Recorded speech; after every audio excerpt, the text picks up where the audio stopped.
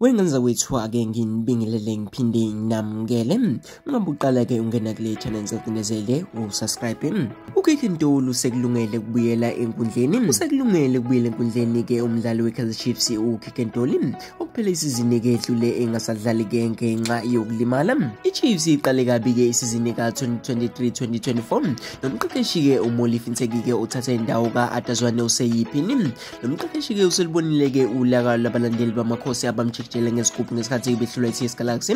Emdlalweni ke we-DStv Premiership emasontweni adlule. Lokhu ke kwabanye kukhona ke ukuthi uNtseki akalitholi ke ithuba lokuphela iskimu asifunayo.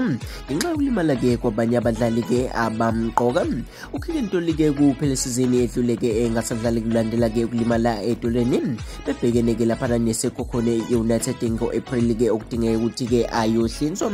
Umthombo ke uzazi zonke ke ezi-Chiefs ubhotshoze ukuthi uDoli ke usomqimane ke futhi ke makhulu amathuba okuthi abonakale ke esikimini samakhosi uma ke sebuyela ke enkundleni emuva kwekhefu le-FIFA.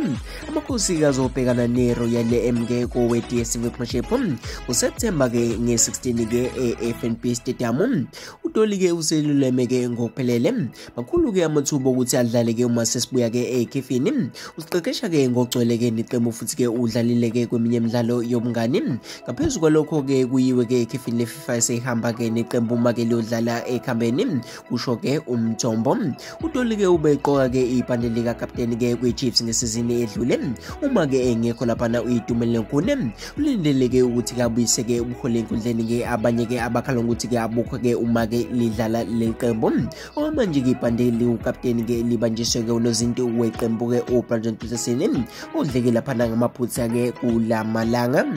Ukhulumela iChiefs uvini maphosa uvumile ukuthi uDoli useluleme ngokugcwele yebo-ke usiyasiqeqesha neqembu.